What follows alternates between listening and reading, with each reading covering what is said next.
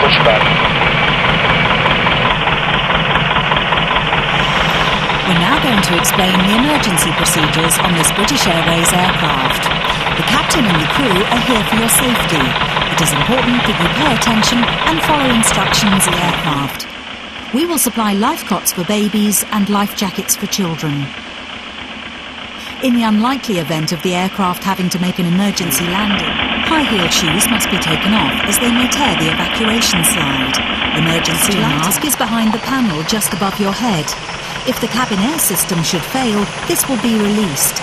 Stay in your seat and pull the mask towards you to open your supply. Please note that the bag does not inflate. Place it over your mouth on the ground during takeoff, approach and landing. Please ensure are clear your mobile taxi. phone and any devices that can send or receive calls or text messages remain off for the flight. Any items with a flight safe mode should have this feature enabled now.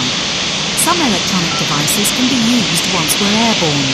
Please check High Life magazine. Take care your hand baggage isn't blocking the aisles or exits. It must be put under the seat in front of you or in an overhead locker to place items in the locker carefully as they may fall and injure someone. As we prepare for takeoff, please make sure.